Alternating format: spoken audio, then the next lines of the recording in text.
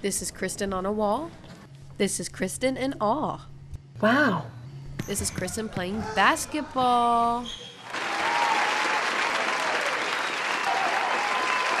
This is Kristen in the hall.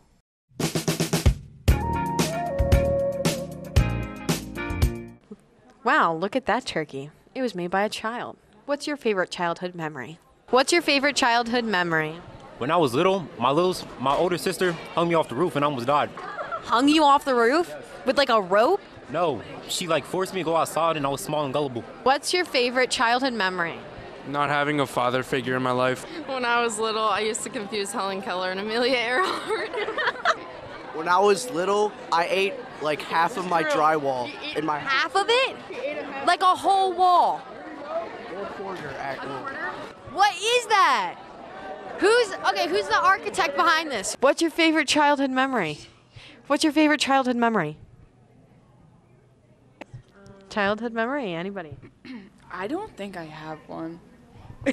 Just lost your memory or I definitely lost my memory. Okay. what's your favorite childhood memory? Hosting pick of the week. Exactly. Period. I have no childhood. What's your favorite childhood memory? When my grandfather broke his toe when we were on vacation, so we had to spend like three out of our seven days on vacation at the hospital. Dang, that sucks. Okay, when I was growing up, we lived on a hill, and when it would rain, like all the water would come down in the gutter, and my sisters and cousins, we thought it was fun to put on our bathing suits and swim in the gutter. With all the nasty, dirty water.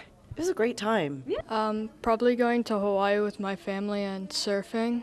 Surfing. Cowabunga. That's cool. This one time, I was walking in the woods with my dad to put out food for the deer, and a big piece of the tree fell off and hit me in the head, and I blacked out for 20 minutes. Do y'all want to be on In the Hall?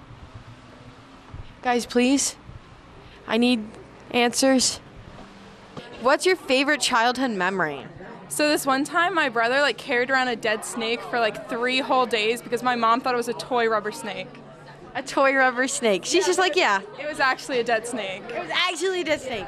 What's my favorite childhood memory? When I was about like six, I went to Disney World and on the safari like boat ride thing, they let me drive the boat. So, take that.